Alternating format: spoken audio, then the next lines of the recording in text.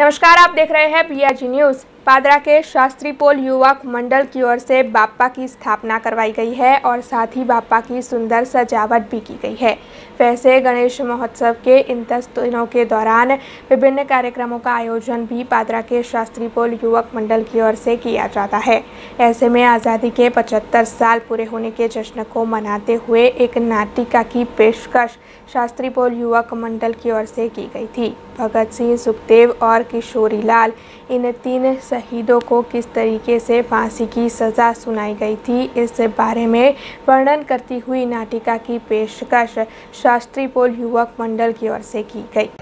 શાસ્ત્રી કોળીઓ ગણેશ મંડળના પચાસ વર્ષ પૂરા થયા નિમિત્તે અમે અમે લોકોએ દેશભક્તિ વિશે આયોજન કરેલ છે અમારા આવા સોળ દર વર્ષે થયા આ વખત અમે દેશભક્તિ વિશે આયોજન કર ભગતસિંહ સુખદેવ રાજગુરુ વિશે અમે ફાંસીનો કાર્યક્રમ આયોજિત કર્યો છે.